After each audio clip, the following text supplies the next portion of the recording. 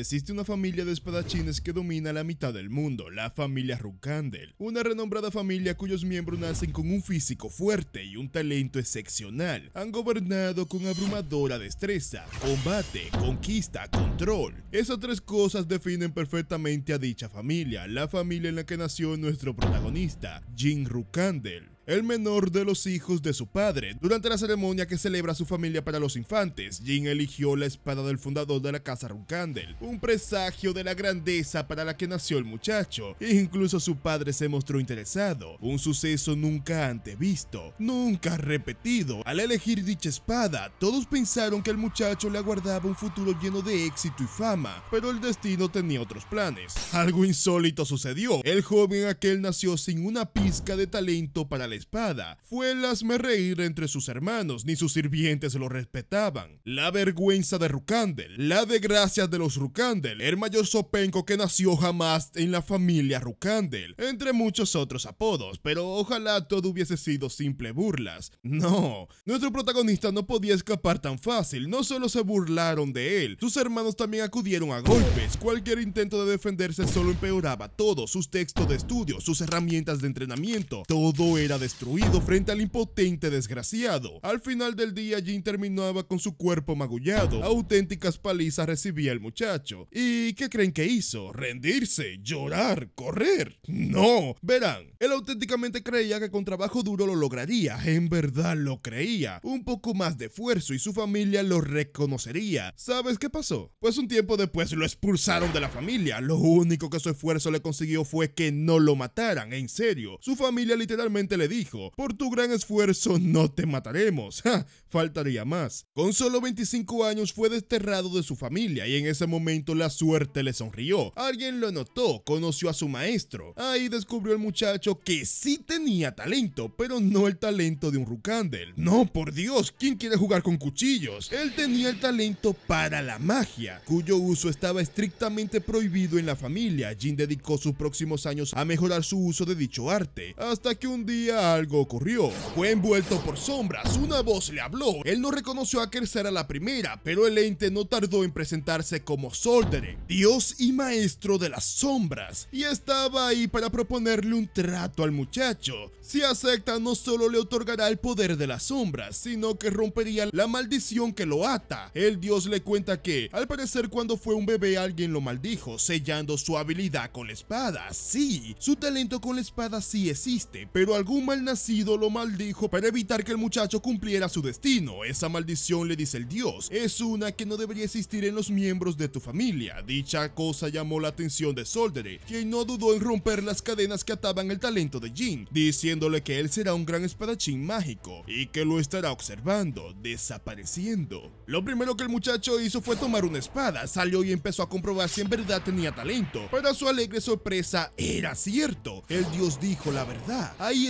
ahí estaba su talento para la esgrima. No solo eso, tiene la capacidad de agregar maná a su arma. El mayor sopenco de su familia ya no existe. Finalmente su trabajo duro dio sus frutos. Bueno, la vida te da sorpresa como sorpresa te da la vida. A lo lejos Jin era observado por hombres de Rukander que vieron todo, incluso cómo usaba magia el muchacho. Y ya pueden adivinar lo que ocurrió. Lo próximo que supo el protagonista es que estaba muriendo. Sí, mientras dormía su aldea fue atacada. Las personas corrían de un lado a otro. Su casa se había derrumbado sobre él. No podía creerlo. Tocó la gloria y en un instante iba camino al infierno. ¿Por qué? Se preguntaba él. Porque si iba a suceder esto se le dio otra oportunidad, muriendo Jin, el sopenco de los Rukander. Bueno, si fuese así no estaríamos aquí, ¿verdad? Algo extraordinario ocurrió, él volvió a abrir sus ojos. Sus manos eran pequeñas, se confundió por eso, a su alrededor su familia, al frente las espadas que determinaban el futuro de todo Rukander, y junto a él Healy, una joven sirvienta que siempre fue amable con él, y en el centro del jardín de las espadas estaba ella, Barizada, la espada del fundador de la familia. Lo reconoció. Esto es la ceremonia de selección. Él ha vuelto al pasado. Gateando avanzó sin dudarlo, y como lo hizo hace tantos años. Jin Rukander a la edad de un año eligió la espada Barizada, con la determinación de que esta vez sería diferente.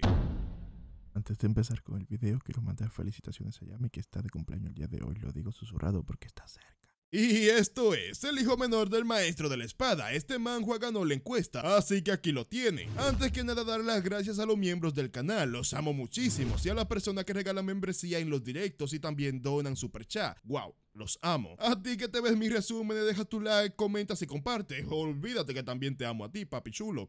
O mami chula.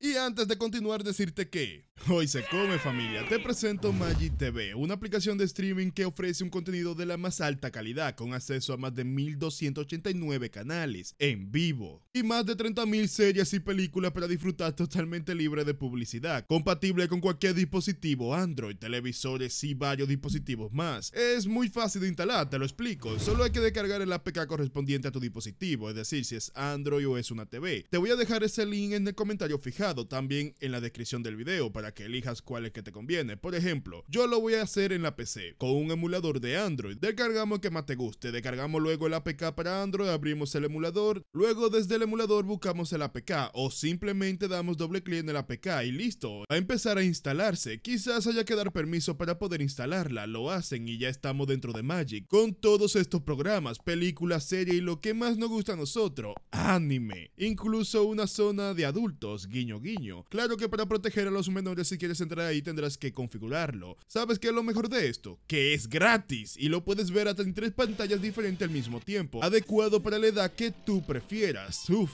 tremendo Magic. Ahora sí, mis amores, continuemos con la historia.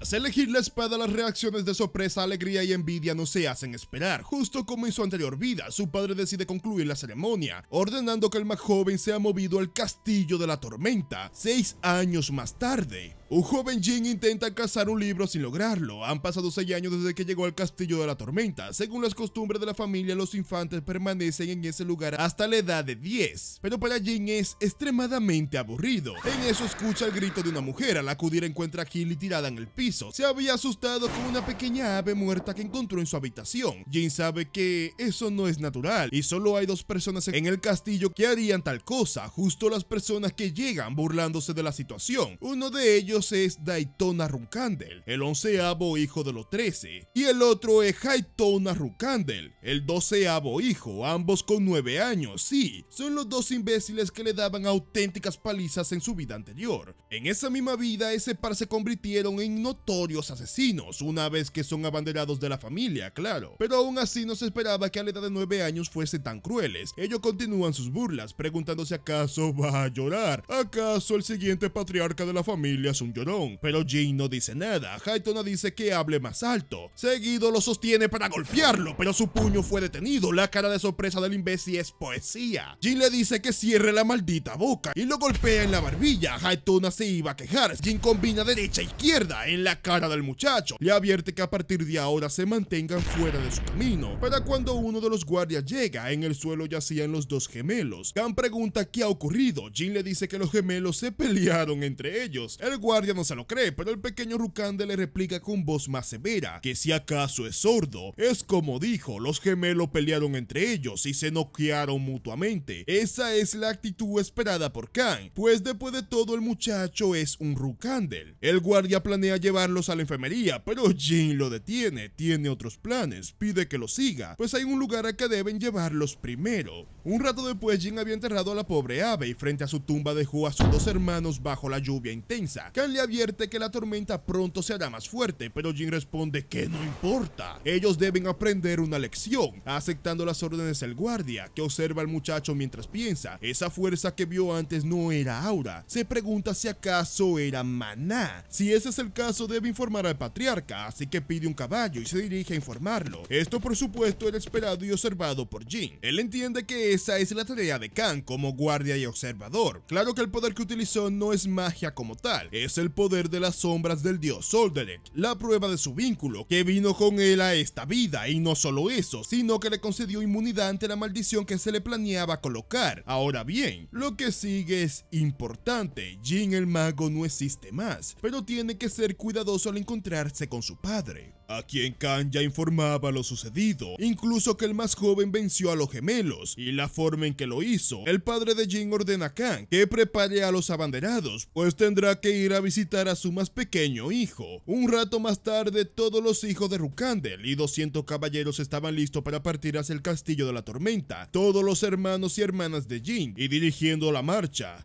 su sexy padre. Díganme que no está buenísimo. Homo. Una de las hermanas de Jin pregunta a otro hermano llamado Diffus si sabe algo de esto. Ella es Mary Rukandel, séptima hija y séptima abanderada. Diffus piensa que quizás sea porque los gemelos están a punto de cumplir los 10 años. Por cierto, Diffus es el cuarto hijo. Además, agrega que quizás verán al hermano menor. Mary se altera, ese pequeño demonio que eligió la espada del fundador. Claro que no tiene forma de saber qué ocurre y en eso otra chica los manda a callar. Es Luna Rukandel, la primera abanderada y la mayor entre sus hermanos. Mari piensa para sí que quizás el hermano menor Jin es un inútil que debe ser vigilado. En el castillo Jin se preparaba pensando que Khan debió haberle dicho todo a su padre, aunque duda mucho que Khan diga que vio magia, pero sin dudas habrá hablado de lo que vio, así que la razón por la que su padre viene es obvia, para comprobar ese poder, comprobar si es un beneficio para la familia o debe ser cortado y borrado. El patriarca había llegado, su primera orden fue que trajeran a los gemelos. Estos llegan y se arrodillan ante su padre, quien inmediatamente pregunta por su pelea con el más pequeño. Ambos intentan nerviosos incriminar a Jin y hablan de que usó magia. Empiezan a hablar más y más, como la magia está prohibida en la familia, nerviosos pero con clara malicia. Sus hermanos suspira, su padre los detiene, le dice que graben esto en sus corazones, así no van a sobrevivir dentro de la familia Runkandel, mandando a buscar al más pequeño Jin, que ingresa mientras los gemelos se marchan, él avanza mientras piensa. Su padre es la persona más fuerte y fría que ha conocido, un semidios, el caballero Génesis. Solía ser un hombre común, pero tras convertirse en un caballero Génesis sus emociones se esfumaron, convirtiéndose en una existencia obsesionada con la supervivencia y desarrollo de la familia. En su anterior vida para su padre alguien sin talento como él no existía, pero esta vez será diferente. En esta vida Jin se asegurará de que nadie pueda ignorarlo, ingresando a la sala bajo la atenta mirada de sus hermanos, se arrodilla ante su padre y saluda al patriarca.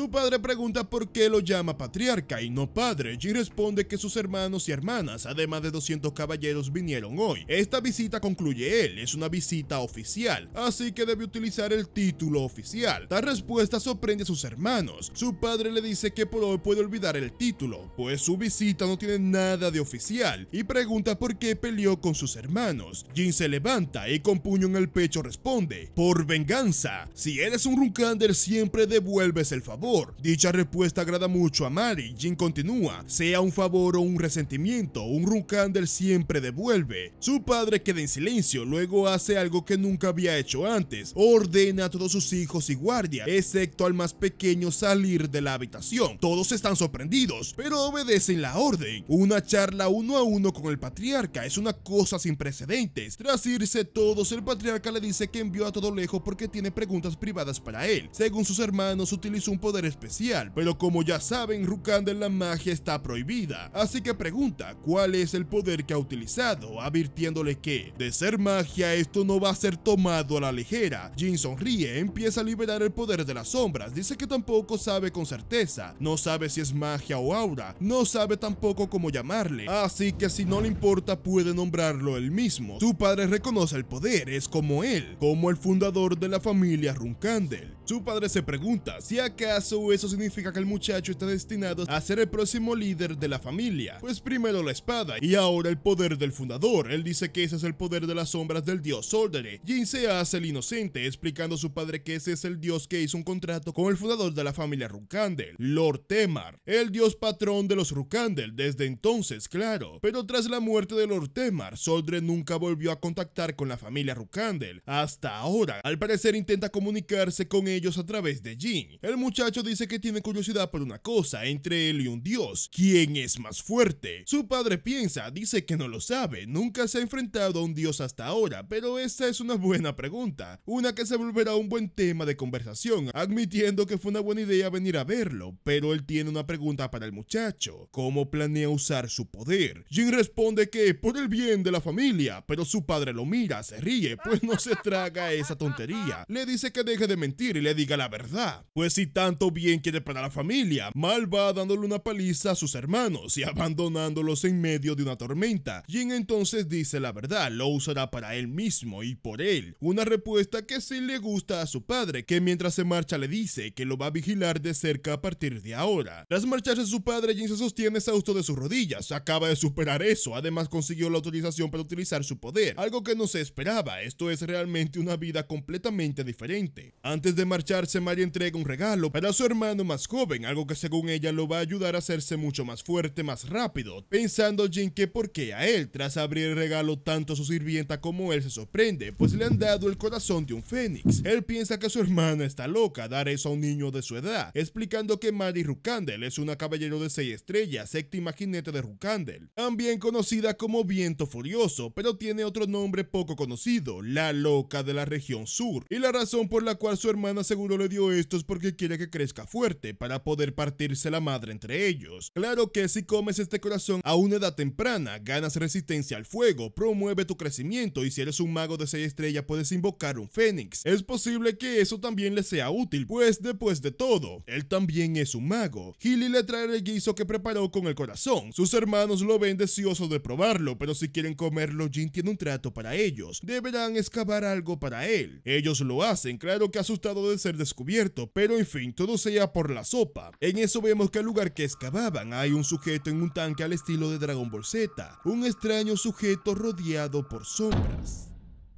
Tras excavar exhausto, los gemelos llegan a Jin pidiendo su recompensa. Un trato es un trato, así que Jin le señala la mesa, donde le dejó una cucharada para cada uno. Ellos se molestan, pero él les dijo desde un principio que les daría un poco, nunca especificó cuánto sería eso, así que sin más remedios ellos tienen que aceptar la paga. Al llegar al sitio de la excavación, Jin estaba sorprendido, pensó que ellos habrían hecho un mal trabajo, pero en verdad sí cumplieron su parte, ahora el muro ese. Él cree que con magia de una estrella debería bastar para romperlo, así que lanza un ataque contra la pared, logrando una entrada. Él nunca había podido ingresar a ese lugar. Se topa con una puerta y recuerda que su hermano mayor le dijo que para ingresar debía decir las palabras desencadenantes. El hijo de Rukander está aquí para consultar a Murakan. Esto hace que las puertas se abran y él ingresa sin dudarlo. Este lugar solo está permitido para los abanderados. Su hermano mayor en su vida anterior se lo contó. En ese momento se lo dijo porque nunca podría venir aquí, así que daba igual. Pero en esta vida sí que lo ha ayudado bastante. En eso se topa con aquel extraño hombre que descansa en el tanque. Nota que tiene escamas, así que no es humano. Ahora lo entiende, es él, el dragón negro Murakan. Según la historia, dicho dragón había sido derrotado por el fundador y entró en invernación. Nunca esperó que tal historia fuese real, pero de todas formas no tiene tiempo para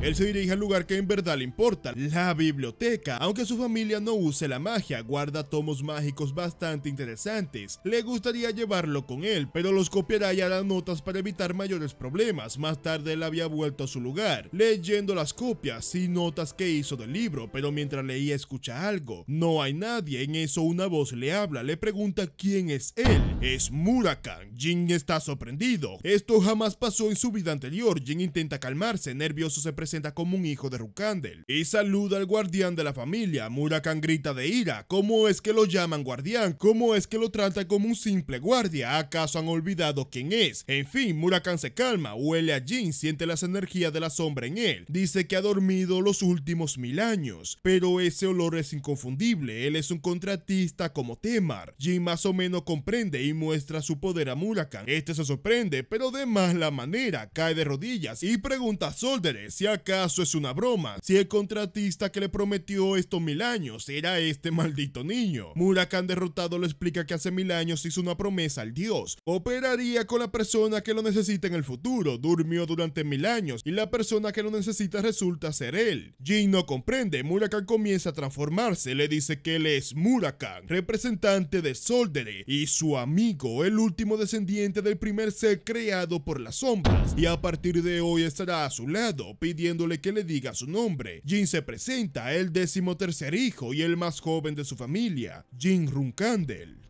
Montaña Murakan era el antiguo nombre del lugar donde se encuentra el Castillo de la Tormenta. Él gobernó hace mucho tiempo este lugar, sin embargo hace mil años fue derrotado por Tema Rukander. Claro que ahora Jin sabe que eso no es verdad, Murakan era el guardián de la familia. Aquellos que realizan contrato con un dios reciben un dragón guardián, claro que nunca se supo quién era el dragón guardián de Soldere. Por ende nadie sabía sobre Murakan y más que este había caído en un largo sueño. Pero ahora que se ha despertado, eso significa que él también obtendrá un guardián Jin ha llegado a la biblioteca secreta donde Murakan lo esperaba. Jin lo mantuvo ahí, llevándole pasteles de fresa que al dragón parecía encantarles, aprovechando este tiempo para realizar preguntas, pero Murakan era muy ambiguo, además muchas cosas simplemente no las recordaba. Hasta ahora Jin solo ha aprendido una cosa del dragón, le encantan los pasteles. Murakan pregunta al muchacho qué suele hacer en este lugar. Jin explica que transcribe los textos de los libros. Eso sorprende al dragón. El muchacho es capaz de comprender un poco esos libros. Jin dice que no tanto, solo comprende el 30%. Murakan intenta que el muchacho no se desanime, diciendo que más que cualquier otro niño a su edad. Pero Jin replica que claro, si se refiere a un niño normal, pero él es un Runkandel. Tiene 12 hermanos mayores y a muchos superiores. Si él quiere superar a esa gente, tendrá que trabajar muy duro. Él pregunta al dragón si fuese el fundador cuántos libros podría entender, comparado al ser más fuerte de la historia, qué tan lejos está. Murakan piensa y sinceramente responde que es probable que Temar no entendiera nada de esos libros a la edad de Jin, sin embargo no significa nada, él nunca leyó esos libros y aún así luchó mejor que nadie y hay algo en lo que ciertamente se parecen ambos, su potencial. Solo que Jin no tiene tanto talento como el fundador. Esas palabras sorprenden al pequeño, que pregunta si entonces jamás será como él, pero Murakan le dice que no es él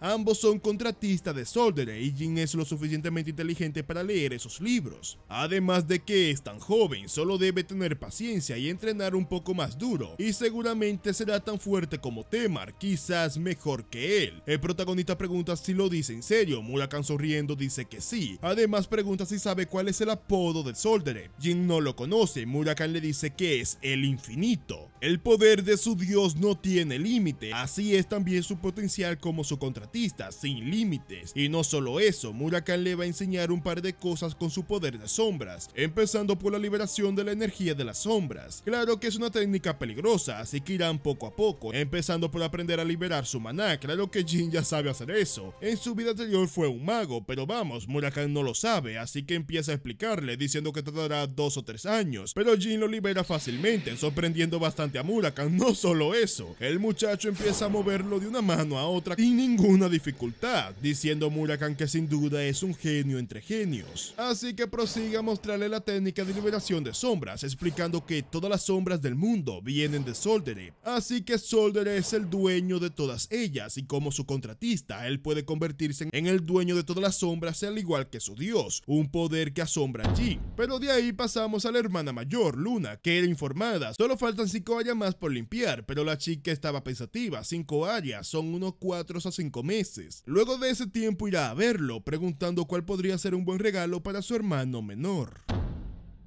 Y así pasó medio año desde que conoció a Murakan. Había llegado el momento en que los gemelos abandonarían el castillo. Jin había cumplido nueve años. Claro que su pequeña celebración era interrumpida por Khan, pues su hermana mayor Luna Rukander, la primera hermana, estaba ahí de visita, dato que sorprende a Jin como a.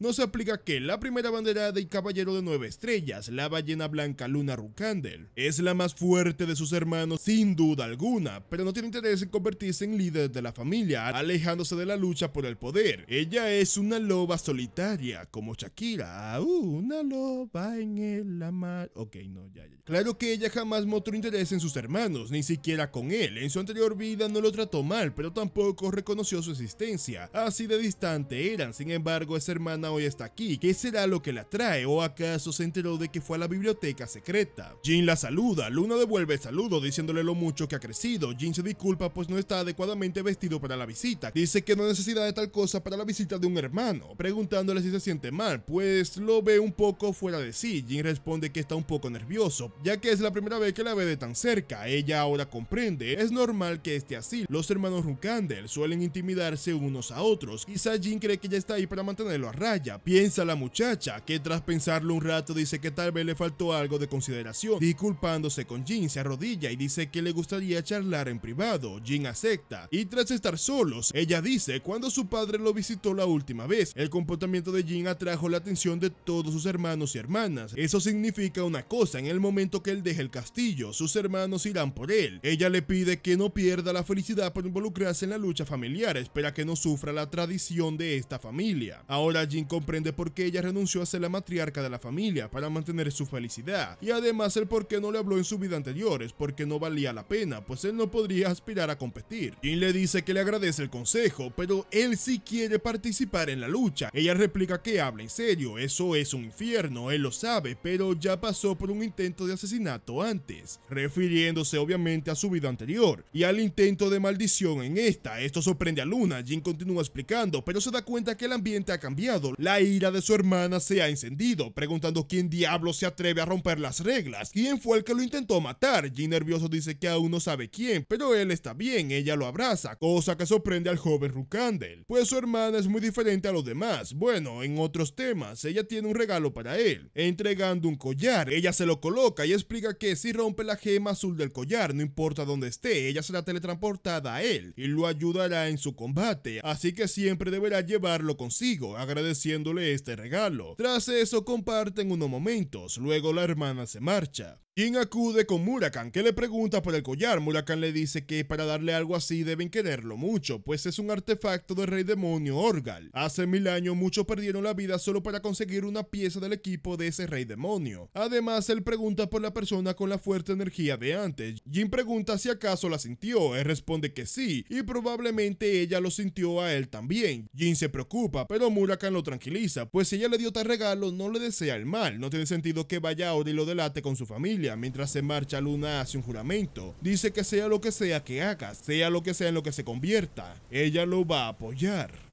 Jin pensó que su tiempo en el castillo sería aburrido, pero cosas interesantes pasaron. El reconocimiento de su padre, el corazón del Fénix que Maddie le regaló, una relación con Luna, encontrar a Murakan, cosa que no podría haber soñado ni siquiera en su anterior vida, ahora tiene 10 años. Ha comenzado sus preparativos para abandonar el castillo. Mientras tanto tenía unos últimos entrenamientos con Khan, que realmente entiende por qué el patriarca se ha interesado en el más joven. Se siente no como si él evaluara al muchacho, sino que el muchacho lo evalúa a él. Tras terminar, Khan le habla, le dice que ha sido su mayor honor entrenarle y que de acá a que se vaya, se esforzará aún más en su entrenamiento, agradeciéndole Jin. Tras eso el muchacho jugaba con fuego. Él sí puede porque no se quema. Gracias al corazón del Fénix, incluso Hilly se muestra sorprendida. El efecto de dicho corazón es increíble, pero aún así Jin solo ha absorbido la mitad de este. En 5 años se absorberá por completo, pero lo importante, Healing va a preparar las cosas que faltan para la salida, pues mañana es el día.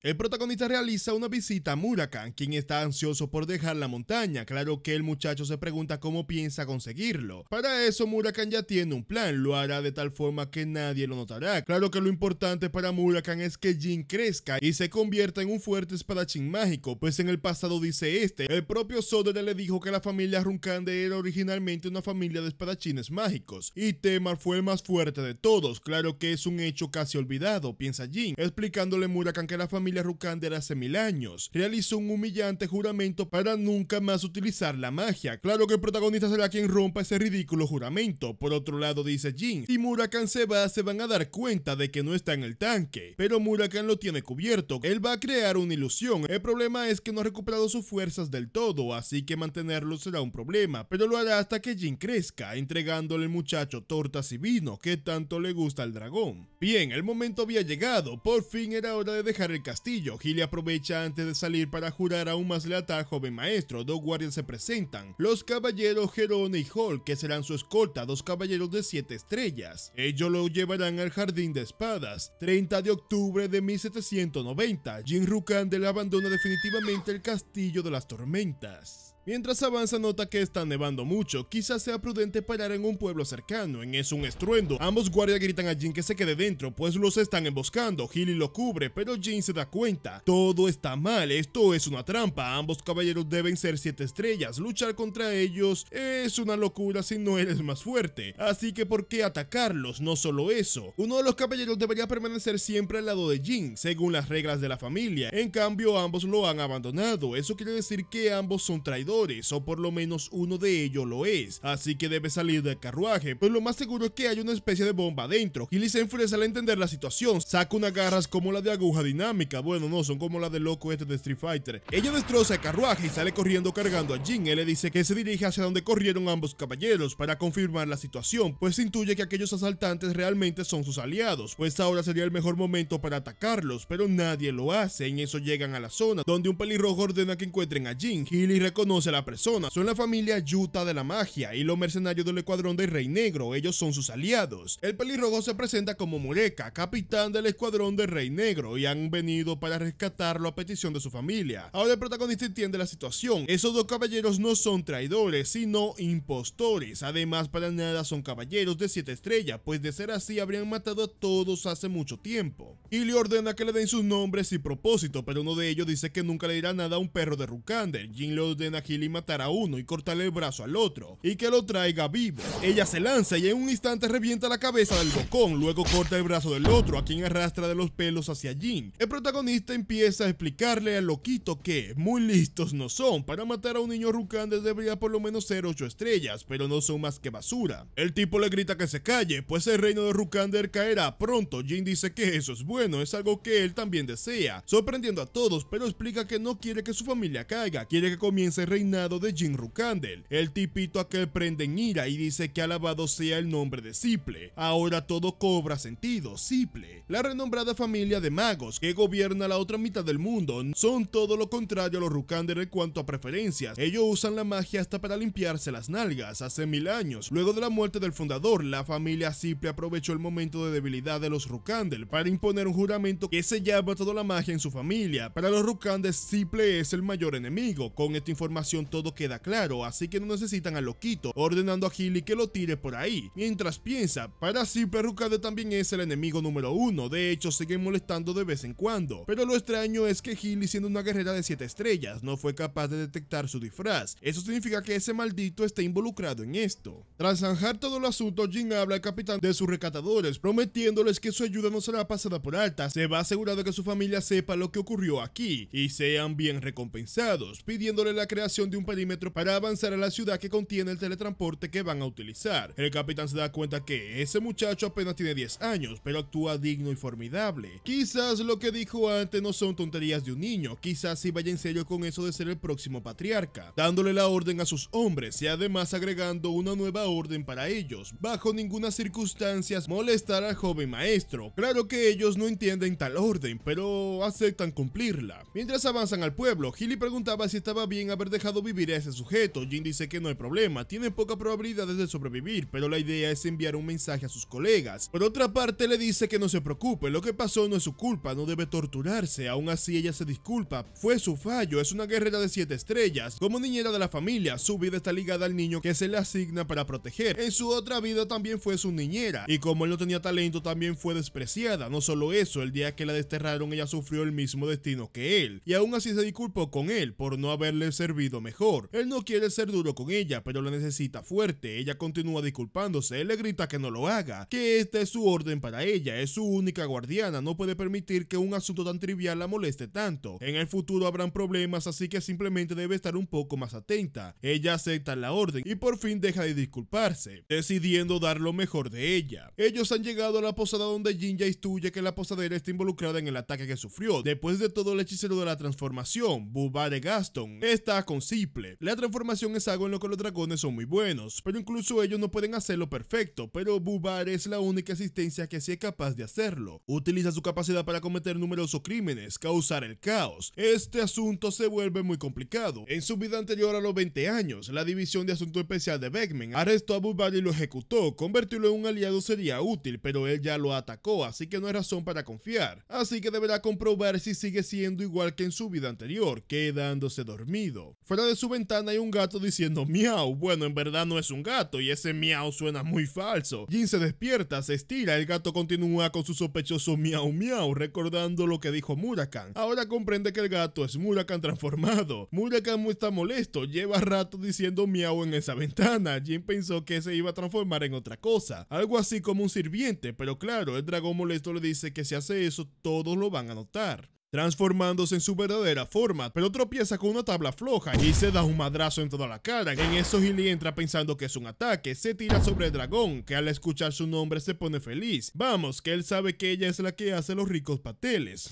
Hilly lo mira con cara de y este maldito loco. Jin se sostiene la cara. Murakan como galán le dice que ha esperado conocerla por mucho tiempo. Jin presenta a ambos formalmente. Hilly se disculpa por su imprudencia, pues el joven lo presentó como el guardián de la familia Runkandel. Claro que hay mucho que explicar a la joven dama, pero su primera duda es por qué Murakan piensa que es un pastel de fresa. Respondido Dragón que es porque es hermosa, maravillosa y cocina los mejores pasteles de fresa. Ya ven chicos, así se corteja una dama, aprendan algo. Hilly comprende ahora por qué Jin le pedía tanto pasteles. Tras un rato le han explicado todo, la magia de Jin, Murakan un dragón, los pasteles, todo de todo, lo que maravilla a Hilly, pues es la criada de tan maravilloso muchacho. Claro que por otra parte Murakan, ella le dice que debe ser más cuidadoso, pero responde de que solo tropezó, empezando a reír mientras Killy pregunta a Jin si realmente es confiable. Tiempo más tarde llegó el momento de separarse de su escolta, pues ya habían llegado al lugar de teletransporte. Hilly agradece el trabajo asegurando que serán bien recompensados. El capitán dice que no fue nada, para ellos también fue una buena experiencia. Aún así tiene una pregunta, llama a Hilly por su nombre completo, Hilly McLaurin, preguntando por qué abandonó a su familia para ser niñera de Rukander, pues su talento era suficiente para asegurarse un gran puesto en su casa, pero Hilly le responde, métete en tus asuntos,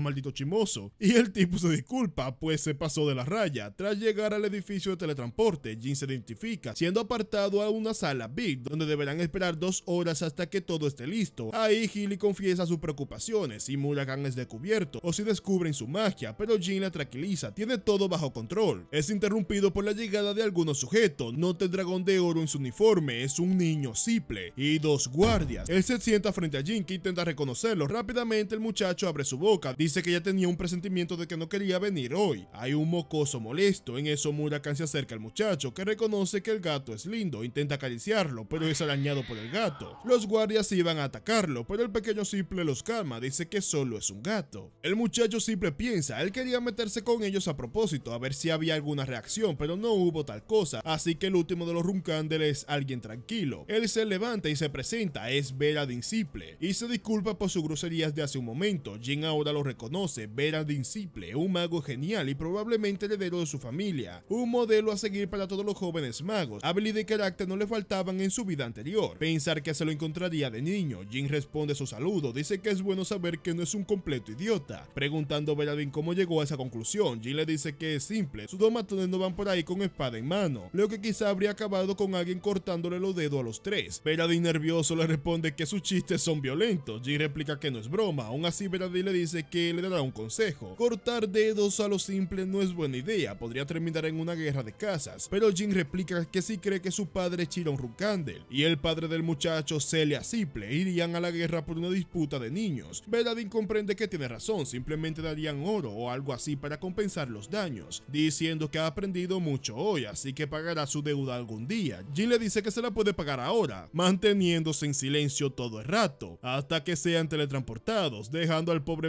Con cara de SD. De hecho, Veradi queda fascinado con Jin, es tan genial, pensando para sí mismo que si no fuera porque es un Runkandel, le encantaría ser su amigo. Un rato más tarde, por fin la teletransportación estaba lista. Veradin grita a Jin que se van a volver a ver. Jin concuerda, ambos son teletransportados a sus respectivos lugares. El protagonista ha llegado al Jardín de las Espadas, donde el amo de llave Pedro lo esperaba. Pedro, Pedro, Pedro, Pedro, P, agarra tu maleta y lárgate. Ok, así no era que decía la canción, pero... El Jardín de las Espadas es el lugar donde se colocan las espadas de todo Rukandel fallecido, claro, de todo Rukandel que haya logrado una contribución a la familia. En otras palabras, es un símbolo de los sueños y el honor de cada Rukandel. Una vez el sueño de Jin fue morir y dejar su espada ahí, pero todos sabemos cómo terminó esa historia. No fue ni un líder ni inteligente, pero esta vez será diferente. Jin llega donde su padre y algunos hermanos lo esperaban, la primera en saludar saludarlo es su madre, Rosa Él devuelve el saludo, su padre nota a ese gato, preguntándole si acaso recogió a un animal de las calles, respondiendo Jin que sí, lo recogió. La elección de palabra agrada a su padre, claro que el recelo de sus hermanos no tarda en llegar. Jin siente sus miradas hostiles, su madre pregunta por el nombre del gato, Jin responde que mariposa Rucandel. Sus hermanos se quejan, ¿cómo osa llamar Rucandel a una limaña como esa? Su padre detiene las quejas, habla a Jin, se pregunta por qué le ha puesto tal nombre, respondiendo él que para ser responsable de él, pues es la primera vida que acoge, aunque vamos, deberían darse cuenta de que no es un gato, qué maldito gato sonríe así, y además sería genial decirle Murakan, revélate, sabe, algo así. En fin, ellos prefieren hacerlo en escondidas. Su padre le pregunta si entiende el peso de su nombre, el joven responde que sí, y será totalmente responsable de él, una respuesta adecuada para su padre, que lo acepta, pero le dice que al parecer tiene talento para ser enemigo fijándose en la mirada de sus hermanos. Jin se alegra y replica que también tiene talento para matar a sus enemigos. Esto provoca que su padre sonría de oreja a oreja, una respuesta fascinante que hace a su padre reír y advertirle a sus hermanos que tendrán que tener cuidado del menor. Y bueno, ya no tienen acostumbrado a que pasen muchos años, así que tras esa conversación ha pasado cuatro años, verano del año 1794. Jin tiene ahora 14 años y es un caballero de dos estrellas, un cadete de bajo rango. Un sujeto llamado Garón se acerca a Jin para avisarle que dejarán por hora el entrenamiento. Además, él había acordado entrenar junto a Lady Luna, así que Jin primero irá a comer. Mientras espera la comida, un joven se le acerca. Es un joven llamado Velo, que le ha llevado su plato. Jin nos cuenta que Velo tiene 13 años, es un plebeyo que está destinado a ser descalificado como cadete y desterrado de la casa Runkandel. Bueno, por lo menos en su vida anterior fue así. Jin le pregunta si está buena la comida, Velo no sabe qué decirle, pero luego suelta un discurso de que claro que está buena y estará siempre agradecido con los Rukandel por dejarle comer comida tan deliciosa como esa. Además, Jin que comparte su carne con él. Carne de comer, digo, mal pensados. Jin lo manda a callar, le dice que ya había dicho eso antes, además agrega que debe aprender a mantener la boca cerrada. Pues es justo por eso que los demás lo miran por encima del hombro, debe tener más confianza, le dice Jin al muchacho. Pero responde que sus notas son horribles. Además, su esgrima aún es una estrella. Jin le explica que ser un caballero de Rukander es todo menos fácil, igual no importa sus notas. Él es mejor que la mayoría de chicos de su edad. Jin piensa que es extraño, Pelo es tan puro, pero él luego de ser expulsado se convierte en un perro asesino despiadado al servicio del Imperio Bemen. ¿Qué será lo que lo lleva a ser así? Claro que se sorprendió al escuchar lo que había logrado, pero se puso triste al enterarse que se aplicó la automorición. Es mejor esta vez no dejarle solo, lo ayudará a que no sea descalificado. Ya es mucho vivir sin suerte y morir una vez. Tras esto, Jin camina. Su energía de la sombra es dos estrellas, su mana es de cuatro estrellas, su habilidad con la espada ahora mismo es dos estrellas. Si continúa así en dos años será tres estrellas. Él llega al lugar que iba, a su entrenamiento con su hermana Luna, que le dice que el entrenamiento será como el de ayer, pero deberá defenderse de una manera diferente, un entrenamiento del que jamás escuchó hablar.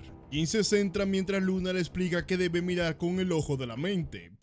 Poder pensar en el ojo del culo. Que según ella es lo más importante para un espadachín, le indica no abrir los ojos. Jin nos cuenta que el ojo de la mente es un reino que solo los caballeros de 7 estrellas o más pueden alcanzar, pero él es 2 estrellas, es una locura que quiere enseñarle tal técnica. Además, el ojo de la mente se canaliza al utilizar aura, pero no puede usarla entrenando con Luna, lo cual lo hace más difícil. Él decide aún así confiar en la forma de entrenar de su hermana, seguro que algún día lo entenderá. Así pasó el tiempo, el entrenamiento de ese día había terminado ambos se despiden. Mientras Luna queda pensando, es más de lo que se esperaba, él muestra un nivel de concentración mayor a que le corresponde a un caballero de su nivel, seguro dominará la técnica en pocos años. Unos días después, los cadetes se habían reunido, el sparring de ese día es importante, muchos están nerviosos, pues los resultados alcanzados ahí definirán gran parte de tus notas para ser un caballero guardián. Además para Jin hay noticias, su madre dijo que si derrota a 10 rangos superiores hoy, el próximo año podría adelantarse una clase, una noticia sorprendente para Jim. Por otro lado, Bello está nuevamente cabizbajo. Bueno, la prueba dan inicio, los compañeros pelean uno contra otro, lo que no aprueban son apartados. Jim combate contra los mejores de su clase, ya ha vencido a 8, lo que era su máximo, solo necesita vencer dos más. Se acerca otra joven, una llamada Mesa, y no bromeo, se llama así. Ella se lanza contra él, notando el muchacho que se ha vuelto más fuerte, pero no suficiente como para que no pueda derrotarla, lanzando una ráfaga de ataques abrumando a la pobre chica. Sus manos tiemblan, pero Jin es impresionante implacable. Ella continúa su defensa, pero no hay tregua. Acorralada la chica contraataca, pero su espada de madera es rota por Jin, que apunta al cuello de la muchacha, felicitándola por su encuentro. Ella se sorprende, pues él atacó el mismo punto de su espada hasta romperla. Tal precisión. No por nada es un hijo de Rukandel. Tras esto, vencer al siguiente no fue complicado, superando la prueba de su madre. El entrenamiento ha terminado, pero Jin dice que no, hay uno más al que quiere enfrentar, llamando a Velo, que se altera de la repentina petición. Jin exige el duelo, pues él no podrá sobrevivir así en la familia. Le dice que suba, lo va a destruir, y bueno, con tal amenaza yo tampoco subo. Velo nervioso sube a la arena, se pregunta por qué lo eligió a él. Jin le habla, los compañeros de Velo se burlan. Jin le dice que está cansado luego de luchar contra 10, pero en cambio él está como nuevo. Aún así no podrá ganarle. Esa es la razón por la que lo eligió. Velo no logra comprender, pero Jin se lanza contra el muchacho. De unas penas logra defenderse de ese golpe. Velo pregunta por qué. Jin vuelve a lanzar otro ataque. Velo bloquea. Jin lo felicita por eso. Nervioso Velo agradece. Jin retrocede y lanza tierra y piedras al otro del muchacho, que se ve obligado a taparse. Jin aprovecha para patearle la pierna, haciéndolo caer. Velo pregunta por qué le hace esto. Jin le dice que se levante. Lo llamó para pelear. Lo habría matado de haber querido. Solo será misericordioso una vez. Los demás empiezan a murmurar. Velo hace algo que sorprende a todos. Activa Aura. Mesa se sorprende. Dice el instructor que deben parar la lucha. Si esto continúa, el joven Jin podría estar en peligro. Pero Jin habla. Dice que no se atrevan a interferir. Esa es su orden. Velo pregunta si eso es lo que quería. Jin responde que sí, que no se contenga. Lo desafía. El muchacho le dice que ha cometido un error. Debió luchar contra él primero y no de último, lanzándose contra Jin, que apenas bloquea el ataque. Su espada fue quebrada. Sabía que era mejor de lo que aparentaba, pero no esperaba que fuese tan fuerte. Él vio muchas veces cómo Velo enfrentó a otros. No perdía porque fuese más débil. Jin notó que él perdía porque bajaba su nivel al de sus compañeros y en consecuencia perdía,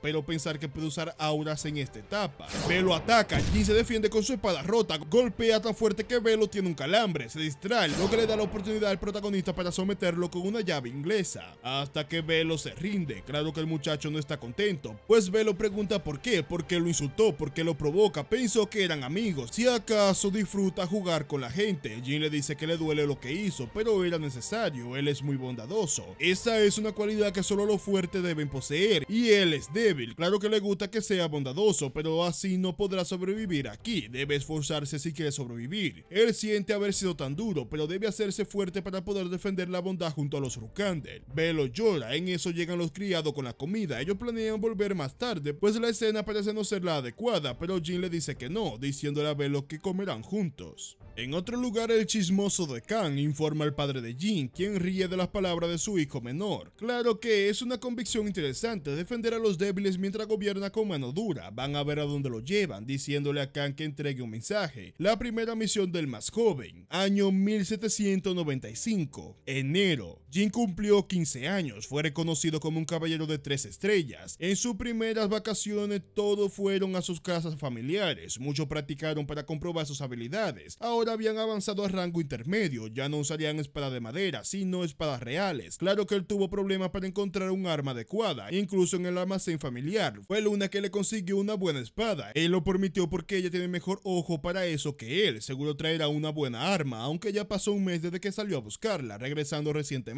apareciendo con un tremendo machete. Ella le trajo esta espada conocida como Matanza Veloz, una que ella misma utilizaba mucho a la edad de Jim, preguntándole si le gusta, pero no. Él dice que no cree que esa espada sea adecuada para él. Ella decide mostrarle otra, una que pensó mucho, cree que le conviene bastante y fue cuando se le ocurrió. Esta sí que le pega. Jin se sorprende. Ella saca una hermosa espada. Jin reconoce esa arma. Es la espada hermana de Barizada, Bradamante, la segunda espada del fundador. Ella está feliz porque le gusta. Y por supuesto, esta espada Jin la quería sí o sí. Claro que si la pedía él mismo, sus hermanos se quejarían. Que Luna se la haya dado es genial, pues junto a Barizada es excelente para usar las energías de la sombra. Jin le agradece a Luna el regalo, aunque expresa su preocupación por la envidia de sus otros hermanos. Ella se decepciona un poco, no era la reacción que esperaba, diciendo que ha roto su corazón. Se disculpa, ella se acerca y le dice que tendrá que consolar su corazón roto. Esperen, esperen.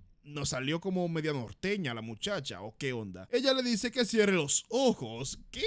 Pues van a entrenar y le enseñará trucos nuevos. What the fuck? Eso suena muy triple X, ¿eh? Incluso Jin se pone nervioso. Ella le dice que ciertamente hay hermanos tratando de matarse unos a otros, pero no todos son así. Así que quiere que lo recuerde y que no la moleste más. Ella ha vivido una vida solitaria por mucho tiempo, incluso antes de que él naciera. No quiere que él pase lo mismo, en fin, qué incómodo, ¿no? De ahí pasamos con Murakan, a quien Jin le mostraba Bradamante, pero el dragón no le da importancia. Le dice que qué más le da si aún no sabe utilizar la energía de la sombra. Si quiere usar a Bradamante correctamente debe ser más de 3 estrellas en la energía de las sombras, pero aún es un niño de 2 estrellas. Apenas es capaz de imitar el despertar de la espada. Jin dice que cree que pronto será 3 estrellas y podrá usarla. Murakan lo llama arrogante. Le dice que Bradamante y Barizada no son espadas que puede utilizar a la ligera. Bueno, para resumir esta parte, ambos empiezan a discutir, pues Murakan le dice que debe ser paciente y alcanzar el nivel adecuado para usar las espadas. Pero Jin dice que solo deberá alcanzar el nivel. Seguro lo logra en menos de un año. Esa arrogancia molesta aún más al dragón, que le dice que aunque gane el primer lugar en energía de las sombras, o devorando sombras, o lo que sea, debe escucharlo, pues lo dice por su bien. Que no sea tan absurdo, le dice. Jin toma el libro que le gusta a Murakan y lo reta a repetirlo. El dragón le dice que baje eso. En eso llega Healy, que interrumpe la discusión, pues el instructor Garon lo solicita, se ha designado su primera misión. Ella estaba nerviosa, pero le dice que no se preocupe y espere ahí por él junto con Murakan. El instructor informa a Jin que él irá en una misión junto a 10 cadetes de rango básico, irán a una misión de búsqueda en la región de la frontera sur del reino Jean o Jean o Jean, no sé, un lugar cercano a la tierra de los hombres bestias, y donde la tribu del lobo blanco tiene su guarida. Jin piensa, esa no es una región para cadetes de bajos rangos, es una misión bastante difícil. Como primer misión, además los miembros de su equipo son cadetes de calificaciones medias bajas, esto debe ser una prueba de su padre, pues no hay otra forma, seguramente a su padre le fue reportado el último incidente, pero de acuerdo, si quiere jugar a esto le va a demostrar su convicción sólida como la roca. Tres días más tarde en la frontera sur, el objetivo de la misión es encontrar al heredero de la familia Bill, del reino Jean, Bill. Jill les explica que montarían un campamento y en una hora designada cada grupo de búsqueda enviará informes. Esta vez no lo llamarán joven maestro, sino comandante. Uno de los jóvenes informa que se encontraron con alguien de la tribu del agua. Jin dice que son pacíficos, así que no hay problemas. Abelo le da la orden de salir dos horas antes en su búsqueda, pues la nieve lo va a retrasar. El resto irá a buscar en la zona 13. Jin piensa para sí. Tiene un mal sentimientos sobre esta misión, aunque de momento está yendo bien, quizá después de todo su padre no quería probarlo. En eso uno de la tribu del agua le regala comida al grupo. Jin acepta diciéndole que luego se lo pagará. El protagonista piensa en lo tranquilo que está haciendo todo, quizás no deban entrar a territorio de los hombres bestia, pero en eso Velo regresa corriendo, informa que el segundo escuadrón fue emboscado, Jin ordena a todos que se preparen. Velo dice que el escuadrón se dispersó para evitar al enemigo, no fueron hombres bestias, sino humanos los atacantes, dice el joven rubio. Jin sale para la zona, no sabe qué planea o cuáles son sus objetivos, pero al llegar encuentra un rastro de lucha, preguntándose Velo si sus amigos murieron. Jin lo calma, la sangre es fresca, por lo que puede ver solo una persona los emboscó. Ellos encuentran rastros, al parecer el grupo escapó al oeste. Él ordena a uno de ellos reagrupar con los demás, a Velo le ordena seguirlo. Ambos avanzan, han encontrado al segundo escuadrón, están luchando, además el número de atacantes ha aumentado. Jin le dice a Velo que cierre sus ojos por dos segundos y luego ataque a la izquierda. Él prepara un ataque con energía de las sombras, clavando la daga en el cuello de uno de los enemigos. Velo luego ataca a otro, pero es detenido, aún así es suficiente. Por la espalda Jin lo termina, preguntando a los demás si están bien. Estos informan que han capturado a Mesa. El tipo que atacó por la espalda aún vive, él pide clemencia. Jin le dice que no parece un seguidor de Simple, así que le propone algo. Si le cuenta todo lo matará a él y dejará vivo a los demás, o se calla y lo mata a todos. El sujeto tras pensar lo acepta, diciendo que perdone la vida de su familia, y prosigue a contar todo. Es parte de un grupo llamado Quincelo. Jin reconoce el nombre, una organización terrorista que tuvo activa incluso en los tiempos en que murió en la vida pasada. Ellos masacraron al pueblo de Jin y mataron a su rey. Se autodenominan grupo revolucionario, cuyo objetivo real es colocar a su propio rey como rey del mundo. El tipo le cuenta más la ubicación de su rama y el motivo del secuestro de Mesa, que es uno bastante asqueroso. Básicamente capturan vivas a las aprendices y ustedes saben para qué, en fin, parecen goblins. Jin le dice que cumplirá su promesa, luego lo decapita. El protagonista ordena a sus hombres aplicar los primeros auxilios, luego ir a la finca principal y pedir refuerzos. Ellos preguntan si planea ir solo. Él dice que debe ir y ciertamente es peligroso, pero uno de ellos fue capturado. Un hijo de Rukandel no puede permitir tal insulto. Los chicos piden ir, ellos son aprendices, es normal que mueran, pero Jin dice que no. Él es más fuerte y ellos serían un estorbo por ahora. Ordena a Velo también irse, pues ahora los miembros del segundo escuadrón están heridos. Él es el más fuerte entre ellos, así que debe protegerlos, lanzándose al rescate de Mesa. Jin sabe que sus enemigos son por lo menos 20 espadachines de 4 estrellas. Él mismo está en el nivel de 3 estrellas con la espada, 4 con la magia y 3 con la energía de las sombras. Así que intentará evitar la lucha de frente utilizando magia para detectar enemigos, además de magia de rastreo de viento para asegurarse el mejor camino. Pero mientras avanza, dos flechas vuelan hacia él, las esquiva. Dos espadachines y un mago lo atacan. Con su magia de viento parte a uno a la mitad. Eso sorprende al mago, un Rukander que usa magia. Jin desvía el ataque del otro. El mago lanza una bola de fuego, pero Jin domina el ataque, aprovechando para partir al otro a la mitad. El mago está confundido, decidiendo cambiar a hielo, pues el fuego no lo afecta. Jin desvía los ataques y se acerca al asustado mago, partiéndolo en dos. El joven protagonista sigue el rastro que los imbéciles dejaron, aprovechando para acercarse crea un plan, una distracción, encendiendo un fuego en el bosque que rápidamente se expande. Los terroristas no saben de dónde vino ese fuego, pero intentan apagarlo a toda costa. Mientras el líder grita órdenes, Jin aprovecha, se acerca y lo asesina, obteniendo las llaves. Se dirige a las casas donde encuentra un sótano y en él está Mesa, pero algo ocurre mientras los recata afuera se escuchan gritos. Jin le pide a la chica callarse, al salir notan cuerpos. Son los terroristas muertos. Uno de la tribu de los hombres bestia los ha matado, pues fueron tan inútiles que ni siquiera pueden apagar un fuego. Jin noquea a Mesa. En eso el lobo pregunta a Jin si él es el causante del fuego. Él dice que sí y se presenta como Jin Runkandel, lo cual alegra al peludo, un Runkandel. Hoy va a tener la gloria.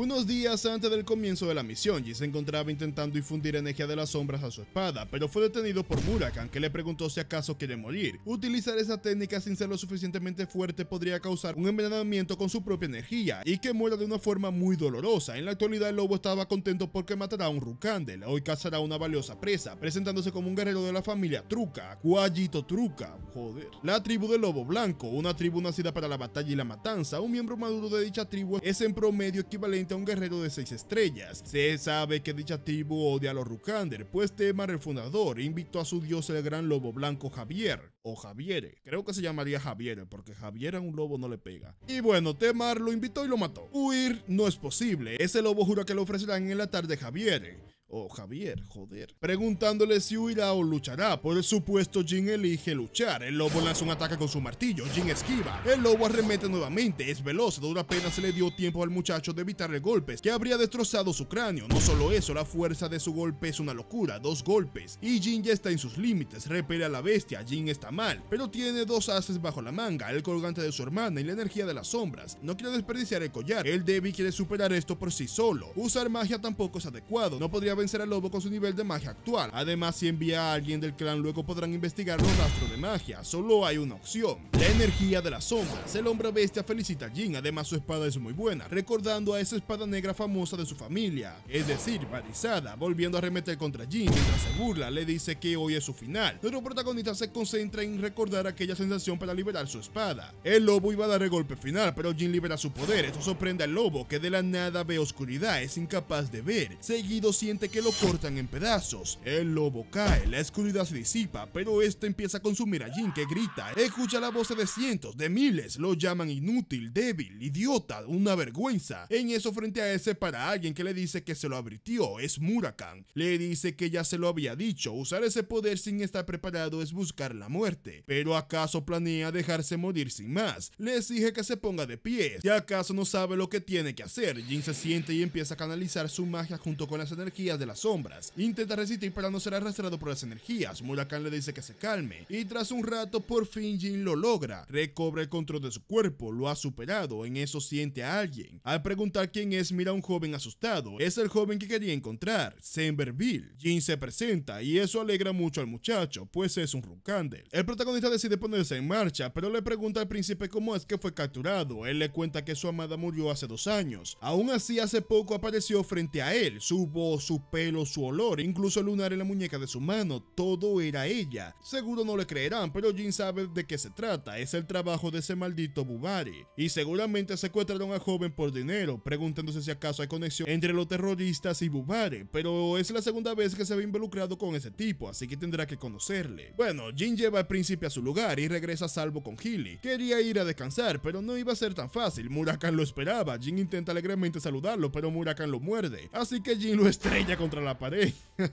Nota del autor. Por favor, no la hacen a sus animales. Murakan es un dragón, así que estará bien. Murakan pregunta a Jin si se volvió loco. Lo vuelve a atacar, reclamándole por ser tan imprudente con las energías de la sombra. Jin intenta explicarle. Su subordinado fue secuestrada frente a él. Además, se enfrentó a uno de la tribu de los lobos blancos, preguntando a Murakan cómo supo que estaba en problemas, respondiendo el dragón que sintió como su energía se disparó de 3 estrellas a 4. Ya se lo había advertido. En toda la historia existen 11 personas que sufrieron la intoxicación de la energía de las sombras. 11 con Jin, 9 de ellos murieron. Jin pregunta si el otro superviviente fue el fundador. Murakan dice que no, de haber sido Temar seguro se habría muerto. El otro fue él mismo. Así que Jin le dice entonces somos iguales. Además no planea experimentar ese dolor por segunda vez. Jin decide darse un baño. Murakan dice que debería castigarlo dejándolo pasar hambre, pero Hilly dice que irá a prepararle comida, dejando celoso a Murakan. Entre tanto sus hermanas y hermanos discutían. Es imposible que Jin haya vencido a un miembro de la tribu de los hombres blancos, pero Anna Rukan de novena abanderada dice que quizás ese lobo era particularmente débil. La otra dice que aún así es imposible. Bueno, miren, este o esta se llama Muy. No sé si es mujer o es hombre. Vamos a decirle Muy. En eso pregunta a los gemelos que creen. Dayton y Haitona nervioso concuerdan con ellas o ellos.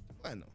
Pero Haitona cree que es imposible en verdad. Ellos saben que es un monstruo, pero tal hazaña es de locos. Eso está fuera de su liga. Seguramente él ahora va a ser transferido a su clase y eso será su fin. Los otros dos preguntan por qué susurran, si acaso tienen miedo. Anna además agrega que odia a las bocas que escupen mentira más que a nada, tanto que le gustaría simplemente arrancarle la lengua. Ellos admiten que tienen miedo de Jin, pero para ayudarle sus hermanos mayores deciden prestarle dos de sus hombres fuertes para darle una lección al más menor. De ahí pasamos con Jin que sale del baño y piensa, ha cumplido con éxito su misión. Será promovido a la clase intermedia, pero necesita llevar a 6 estrellas sus habilidades en 5 años. 6 estrellas significa un espadachín notable. 7 es ser un maestro. 8 es una irregularidad. Y de los 2 mil millones de personas que viven en el continente, solo hay 100 que han alcanzado el nivel 9 y 10. Y solo hay una persona que ha superado eso, su padre. Pero en esta vida él apunta a ser como su padre, un caballero de Génesis, un celestial. Claro que por ahora las cosas se tornan pues al entrar a la clase intermedia los hermanos luchan uno contra otros. Los mayores van a intentar someterlo. Es muy diferente a la clase básica donde todos suelen llevarse bien, pero en la intermedia los corazones blandos jamás triunfan. Ahí solo vale una cosa, habilidad y fuerza.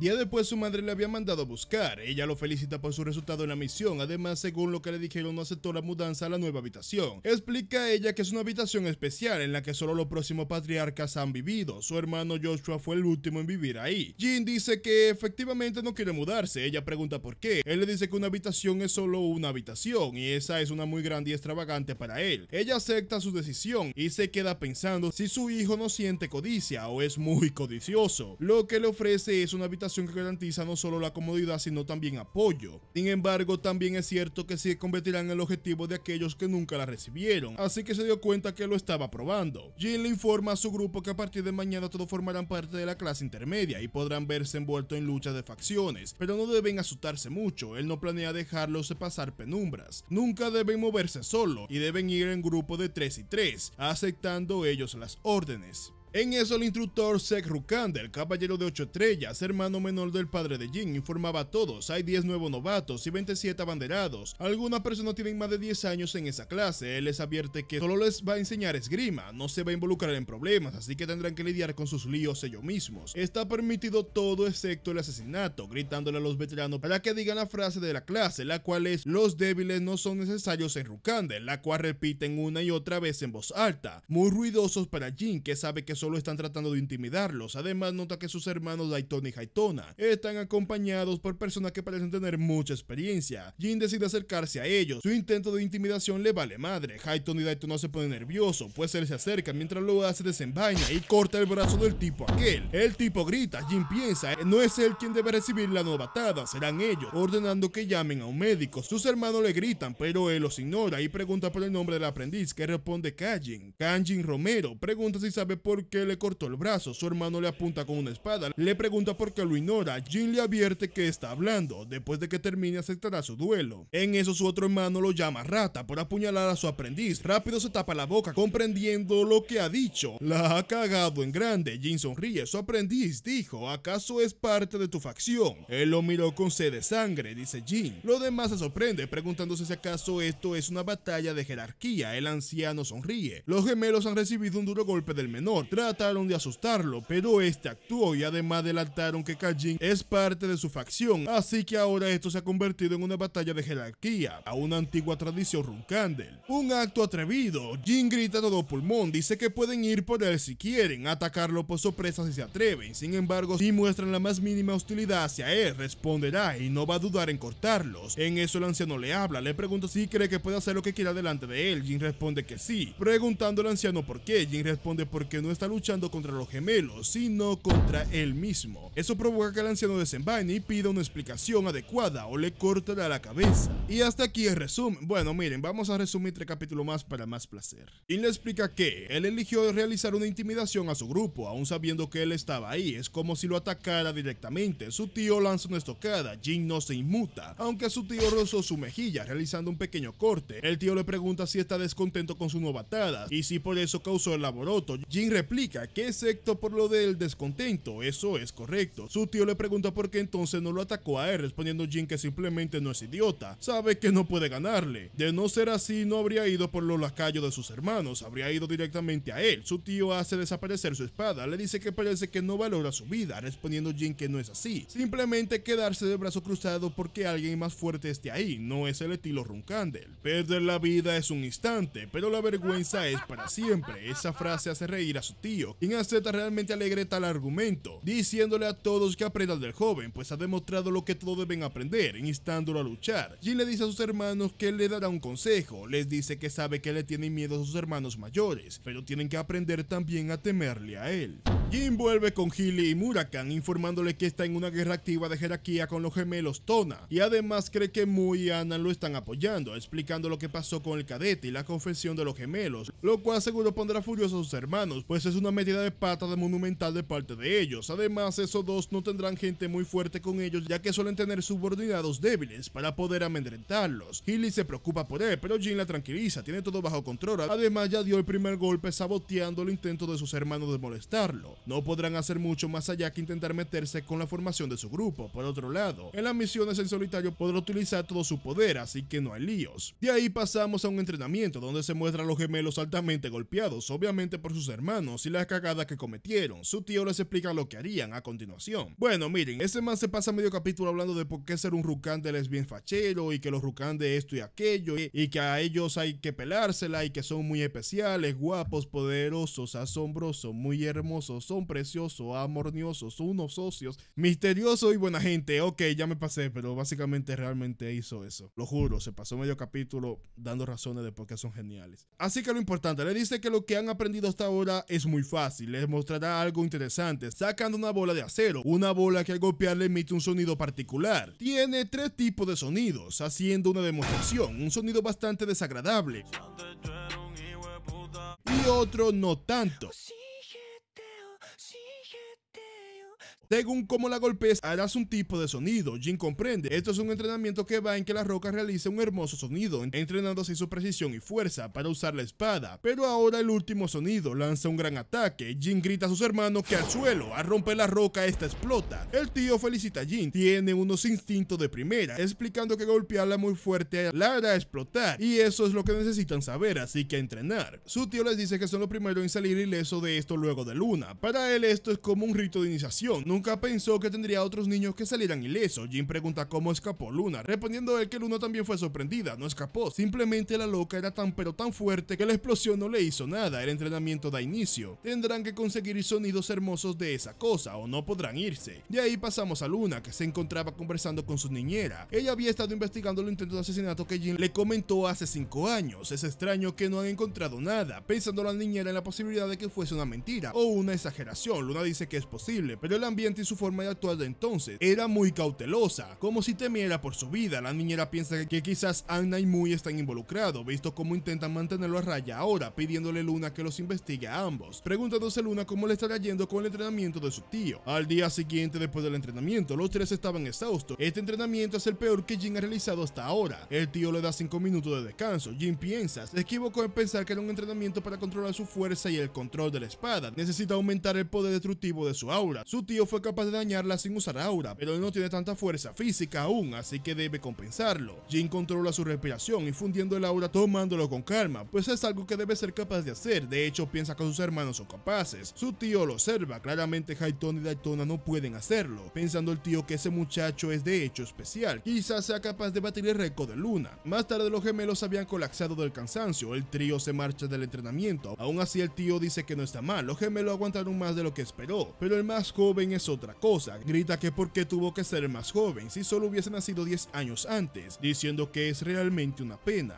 Mientras tanto, la clase intermedia recibe sus primeras misiones, la primera de vigilancia, otra de subyugación de bestias demoníacas, objetivos o los orcos, y participantes de esta última misión serán Mesa, Velo, Scoo, vamos, el grupo de novatos de Jin. Esto es claramente una treta de sus hermanos. Enfrentarse a un grupo de orcos siendo novatos es una locura. Incluso sus compañeros lo saben, otros se burlan. Pero Mesa, Mesa, Mesa que más se aplauda.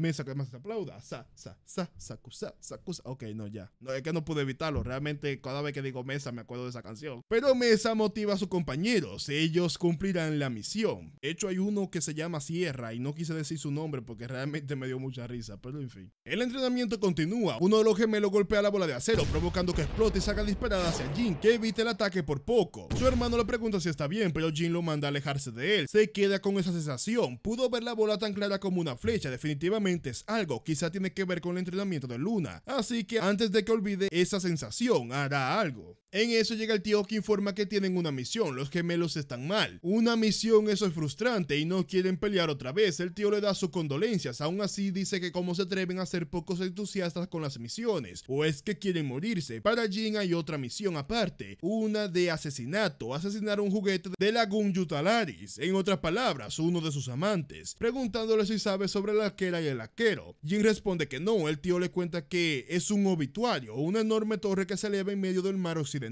Bunguyu se refiere al dueño de dicha torre, una persona con el apodo de araña del abismo, conocida por su gran crueldad contra los hombres que tocan a sus amantes. Ella es una fuerza independiente de la influencia de Simple y Rukandel, así que es fuerte, y el objetivo a asesinar es Alcaro Senderer, escoltado por un miembro de la unidad Bikun. Se encuentran en Marmit, eso último llama la atención de los gemelos, pensando que es una misión suicida. Además, el solicitante de la misión es la propia familia del muchacho. Al parecer querían recuperarlo, pero no pudieron, así que decidieron mandarlo con Diego Maradona. En fin, Jin acepta. Esto sorprende a su tío. Es una misión complicada. Pensó que la rechazaría adecuadamente, pero es bueno ser firme. En dos días salen a sus misiones, dice este. Ellos aceptan. Hayton y Dayton incluso llegan a hacer algo como medio preocupados por Jin, pero este le dice que no se preocupen y que se aseguren de hacerlo bien se acerca a la bola de acero. Los hermanos se abrazan esperando el dolor del sonido, pero al golpearla este no hace un mal sonido. Eso sorprende a los hermanos. Jin le dice que lo hagan bien si no quieren ser golpeados para siempre. Se marcha mientras su tío le observa y feliz dice que tendrá que vivir más años para ver en qué se convertirá su sobrino más joven. Dos días después, Jin y su grupo salían a sus respectivas misiones. Se despedían, él confía en que volverán sanos y salvos, con la misión completada. Mientras tanto, él mismo se prepara y se marcha en su misión. Y ahora sí, hasta aquí el resumen chicos y chicas. A ver, esta historia realmente mejora mucho con el paso de los capítulos. Yo voy al día y está más que decente. Al inicio es media floja, pero créanme, mejora. Aún así he tomado un gran riesgo trayéndote resumen. Una vez ya yo le había hecho resumen a este manhua y me cayó un copy. Eso sí, la única forma de que yo traiga otra parte de esta historia es si el video tiene un gran apoyo. De lo contrario, F mi bro. Bueno, dejen ir a trabajar en el siguiente resumen, que está muy divertido, la verdad. Nos vemos. Los amo.